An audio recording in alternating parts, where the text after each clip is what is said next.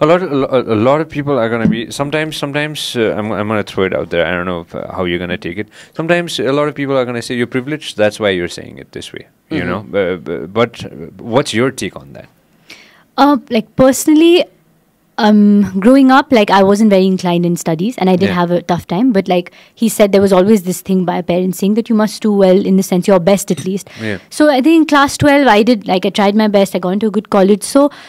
I don't think it's about being privileged. Mm. I think uh, you know it's more about finding what you're really passionate about. I Yeah. think till a person is not like you, they don't wake up like excited to do what they're doing, you know, you're going to like you know do different different things till you figure it out. And however you you know apply yourself to those different things is very I think subjective. You know, so uh, personally for me, I'm like uh, living in an ashram. There's no question of privilege. Like you know, it's Yeah. I wash my own clothes, I mop, I sweep. Uh, you know everything. Hours of sadhana lots of volunteering. So there's no question of like privilege you know in these situations Yeah, even for my brother. Like because lots so of many hard work. privileged families they are suffering their kids are suffering because the pressure on them is like even 10 times more as Mm-hmm. well.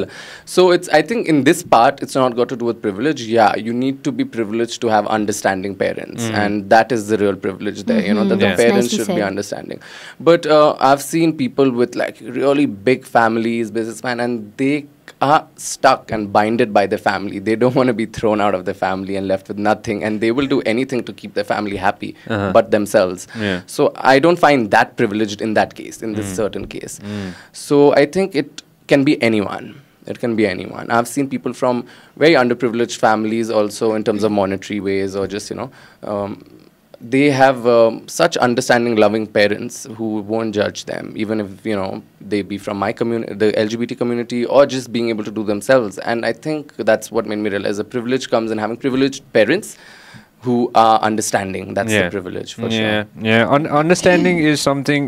Parents listening to the kids. I believe that's the most important thing. He- Hmm. Sometimes we tend to forget that. That's it. Right. A lot of parents have no time to listen to the kids. They're so Mm-hmm. caught up in doing, going to work, you know, earning money, and just not there for the kids. I've Mm-hmm. realized. So it's not about being privileged because I see both my kids have really had a hard life. He's literally shed tears when he's in Mumbai. He's running around doing his own work, living Mm. in scanty places. You know, initial places. You know, worked hard. She uh, at the ashram. So there is. I don't believe the privilege thing. They've really worked hard and given their hundred percent. Yeah. Probably a tag name is a privilege thing or whatever, but that's not necessary. and that is a privilege Maybe- of course we are for privileged to be yeah but- no in, in fact we you are know privileged Yeah. to be from the family that we when are I used to work in know. Nepal before I went to yoga for three years, having my s- s- second name was actually quite uh, disturbing because either people would give you a lot of like, oh wow, amazing, or they would be have like judgments. You're a Rana, you're to like this, you're like that. He was No. journalism right Yeah, journalism. So it was there. Uh, many times I would just change my second name, you know, because I was like, I don't want to.